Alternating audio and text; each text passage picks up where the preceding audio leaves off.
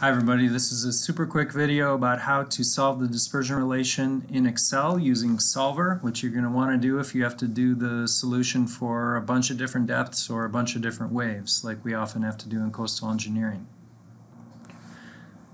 So here's our old friend, the dispersion relation, and as we know, if we're going from right to left in this equation, where you know the wavelength and you're trying to figure out the period, plug and chug, you're done.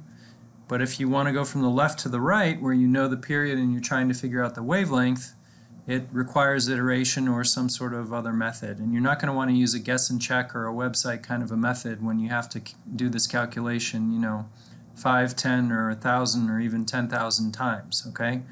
So what I'm going to show you now is how you can use Excel to create a spreadsheet that will iterate for you and allow you to solve the dispersion relation for many different depths for a given wave period. Okay, so here's our Excel spreadsheet. So at the top, I'm going to go ahead and write in a period. Anybody have a period they want to use? Thank you, Brian. Nine seconds. I love nine seconds, one of my favorite periods. Um, here's the depth. We're going to make a column for the depth, and if you had to do many depths, you would just keep populating this. So let's say 300 meters um, maybe 150 meters. Maybe we're working this wave toward shore.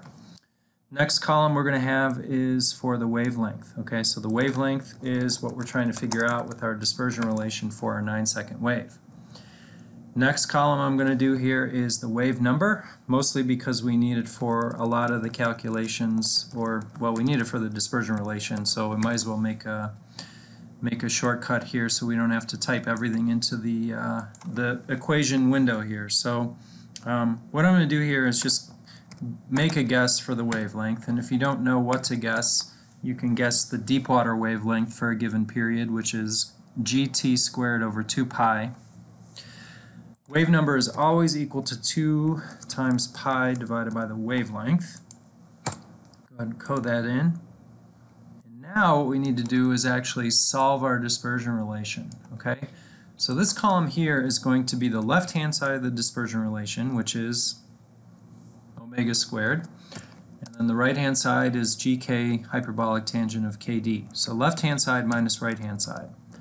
Now I'm going to code that in, what I just said. So equals omega squared, so 2 times pi divided by period, that's our omega,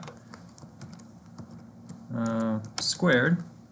And I guess for this one here, for this B1, I'm going to make sure that I'm always grabbing B1. So I'm going to hit F4 to do that, so it always grabs B1. And then we're going to do, that's left-hand side minus right-hand side, which is G, 9.81, times K, that's why I made a K column, times hyperbolic tangent of KD. So K times depth. Bammo. Now if, if I guess the right wavelength magically, the left-hand side minus the right-hand side of the dispersion relation would be zero.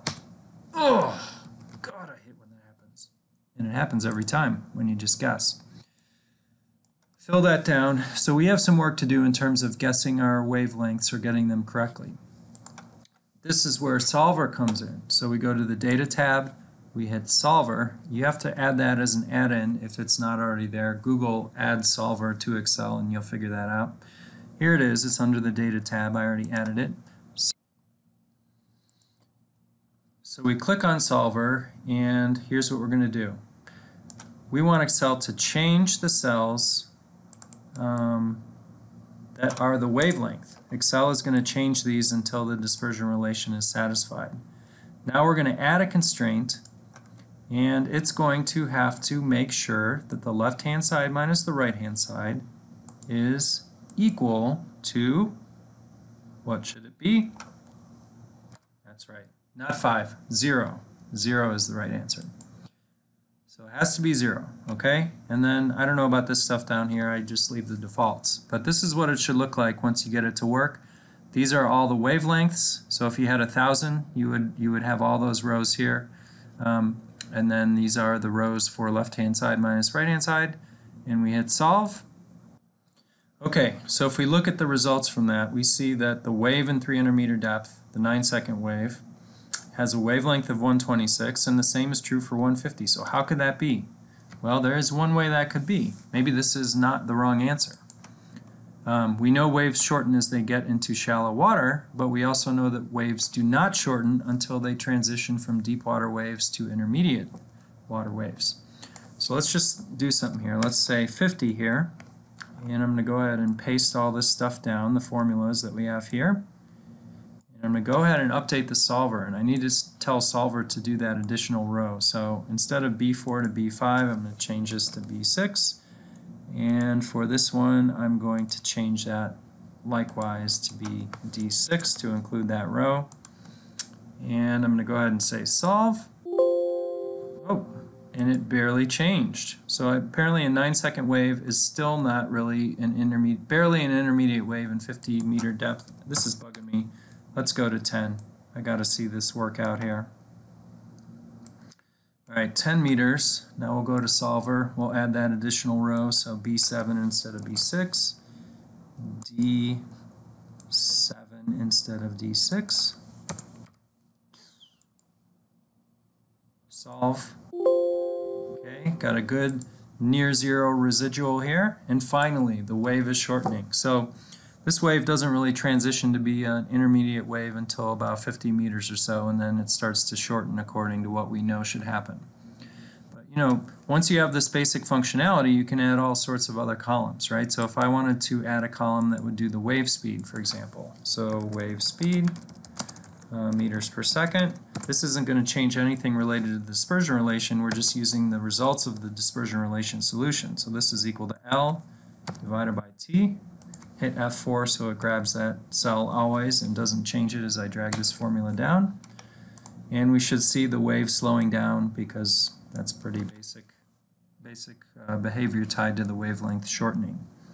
You can add all sorts of other columns here uh, depending on what you're trying to calculate. So if you were trying to calculate the wave height, you could have one here for wave height. And then you could say, okay, my offshore wave height is 2.3 meters, blah, blah, blah and then you could have other columns that would help you to then use this information of wavelength and wave speed and other things to calculate the wave height as it changed uh, while the wave was getting uh, into shallower water.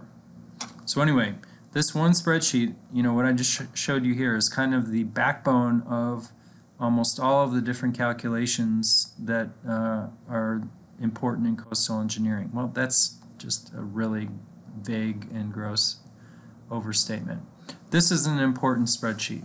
I'll just leave it at that.